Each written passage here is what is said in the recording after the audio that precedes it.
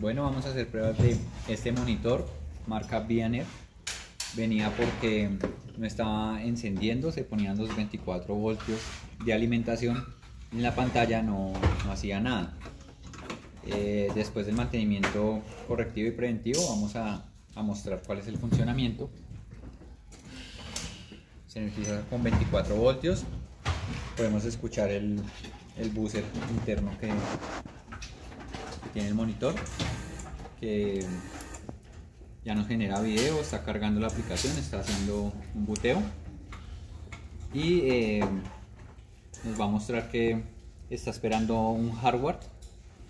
Va a ser un, un test de 5 segundos. Como no lo encuentra se reinicia. Trata de bootear otra vez.